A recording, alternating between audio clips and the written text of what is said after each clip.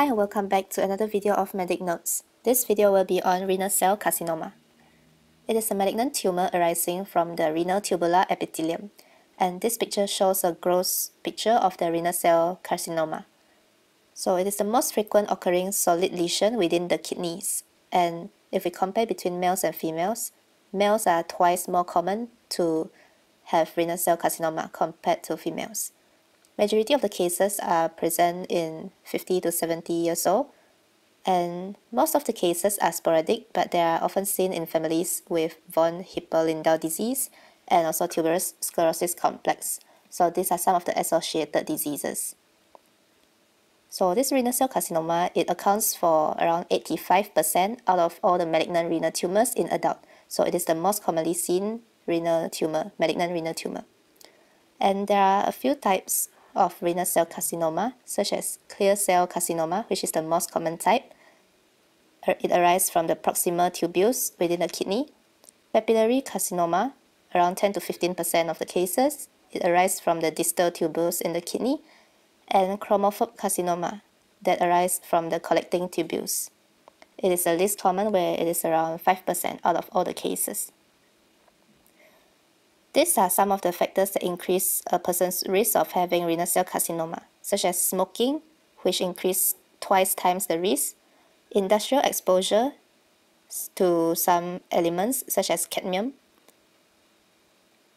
prior kidney irradiation, family history of von Hippel-Lindau syndrome or hereditary papillary renal cell carcinomas, and also if they have an acquired polycystic kidney disease, which can be secondary to chronic dialysis.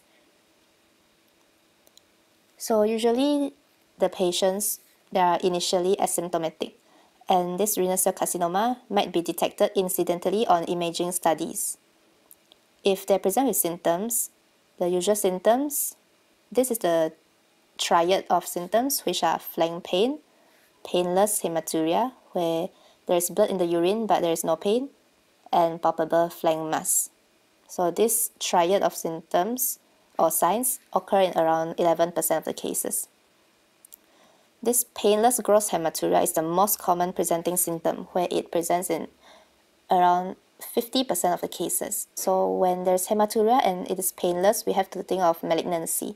It can be renal cell carcinoma or bladder tumor. So there are also other regional symptoms that the patient might have, such as left varicocele.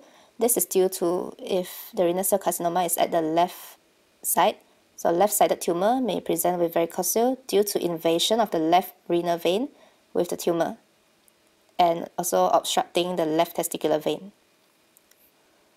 Extension into the inferior vena cava can also cause lower limb edema where there is swelling of the lower limbs, ascites where there is abdominal distension, liver dysfunction or pulmonary embolism can occur as well.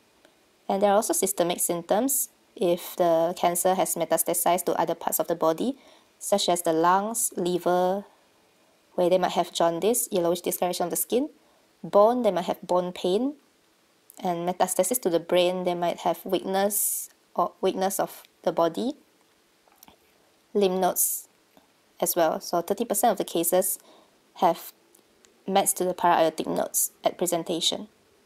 And for tumor constitutional symptoms such as loss of weight, fever, anemic symptoms such as fatigue or palpitation where they feel like their heart beats very fast and also night sweats. So these are the, some of the possible symptoms that they might complain of. Also, paraneoplastic syndromes such as hypertension, non-metastatic liver dysfunction, hypercalcemia, and polycythemia, which is due to the production of erythropoietin by the tumor. So paraneoplastic syndromes may occur in around 10 to 40% of the cases of renal cell carcinoma. The investigations that we can do to confirm the diagnosis is intravenous urogram, CT or ultrasound scan, MRI of the kidneys, and also renal biopsy for pathological diagnosis. So these are the investigations to confirm the diagnosis whereas there are also other investigations for the staging of the disease, such as CT of the abdomen to look for any perinephric invasion or adjacent organ invasion or extension into the renal vein, inferior vena cava, liver mets or any enlarged lymph nodes, CT chest for lung metastasis, and bone scan, especially in patients who have abnormal ALP levels or bone-related complaints with a renal mass present. So this is the view showing there's a left, there's a renal cell carcinoma at the left side.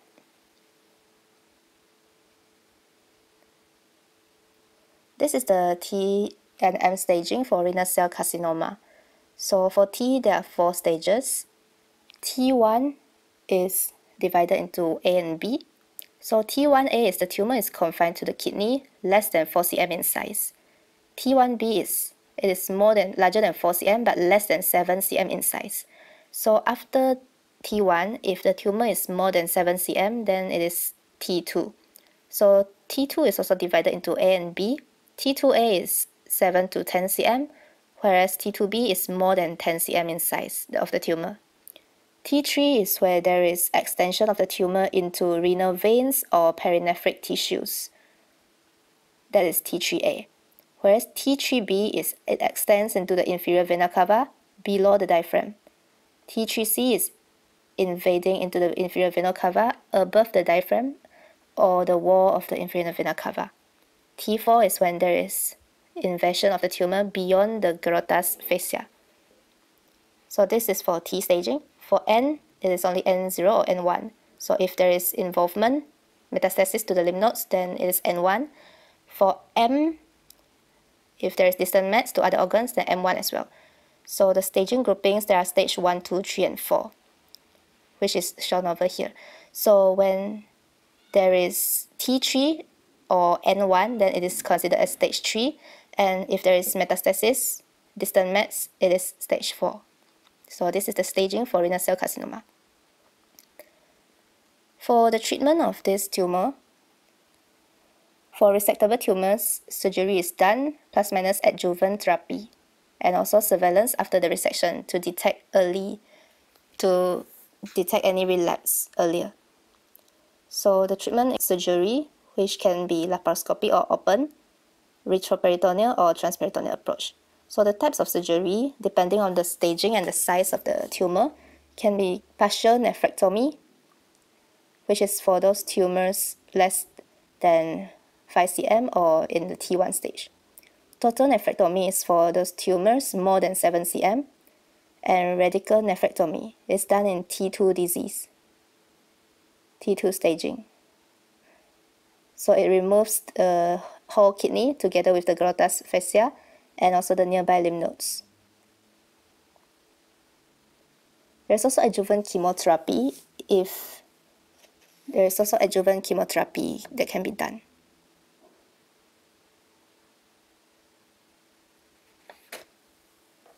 So if the patient underwent for definitive surgery, there is no role for the adjuvant therapy. Then after the surgery, we should do surveillance after the resection to detect relapse early. For advanced tumors, there are also other modes of treatment, such as immunotherapy, which includes high-dose interleukin-2 or cytoreductive nephrectomy. And this, performed before starting immunotherapy, can improve the survival of the patient. Other treatments are molecular targeted therapy, such as sorafenib, which is, an which is a tyrosine kinase inhibitor, and also bevacizumab, which is a monoclonal antibody against the VEGF. So that's all for this video. Thank you.